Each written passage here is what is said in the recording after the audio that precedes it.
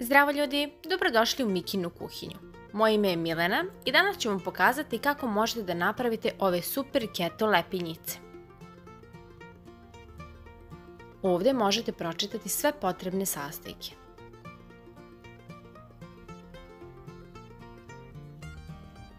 Dakle, kao što ste primetili, brašna nema. Ove lepinjice pravimo od 3 jajeta, odvojili smo žumanca i belanca. Vodite računa kada mutite belanca da vam činija bude suva, kao i žice od miksera. Dakle, mutimo tri belanceta dok se ne formira pena. Kada se napravi pena, dodat ćemo malo soli i nastaviti s mućenjem dok se ne napravi čvrst sneg.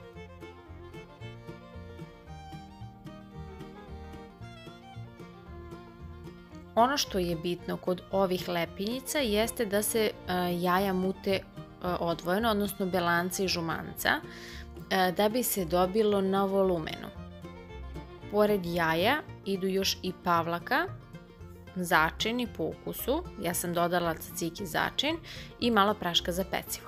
Dakle, kao što ste vidjeli, sada sam dodala malo soli, to je neki prstohvat, otprilike neka četvrtina kašičice,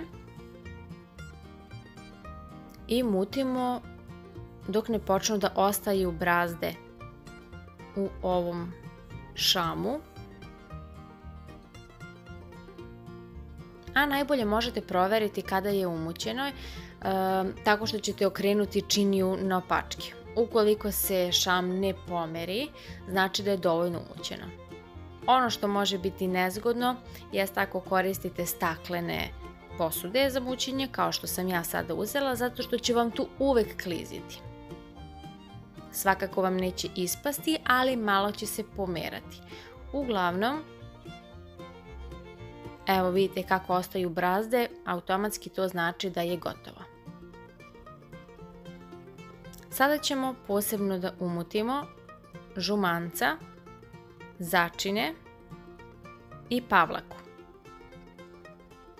Ja sam koristila kiselu pavlaku, možete koristiti e, kajmak, kiselo mleko, e, pavlaku sa manje ili više masti, ja sam koristila ono klasičnu sa 20% mlečnih masti.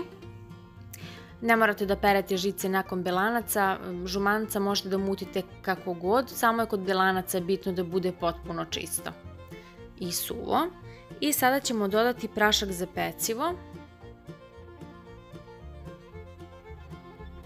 i pažljivo promešati. Ono što je bitno da kada mešate šam od belanaca, da se belanca ne razbiju, odnosno se šam ne razbije, tako da je bitno da se meša lagano. I sada dodajemo žumanca, ja sam dodala ovde deo po deo kako bih ravnomernije uh, rasporedila. Evo dodajem i ostatak. Znači ono što je najbitnije jeste, eto kao što sam rekla, da se nežno umuti. Meni je rerna već uključena na 180 stepeni, to je takođe bitno, znači da stavljate u potpuno zagrejanu rernu. I smesu ređamo na pek papir. Od ove količine namirnica imat ćete 6 lepinjica, Ja sam ovde koristila kašiku za sladoled, možete svakako i običnom kašikom stavljati, ali je uh, ovako brže. Eto, za početak sam stavljala po dve ove kašike, a posle ću da dodam ukoliko ostane nešto preko.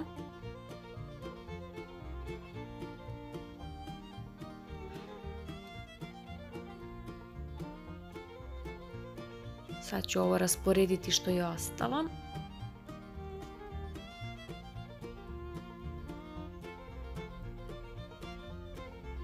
I ovo ide pravac u rernu na pečenje. Tokom pečenja lepinjice će imati pravi oblik lepinica, bit će onako vazdušaste.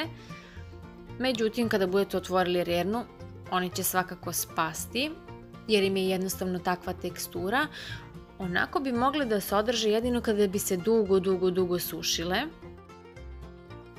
kao i žice od miksera. Dakle, mutimo tri belanceta, dok se ne formira pena.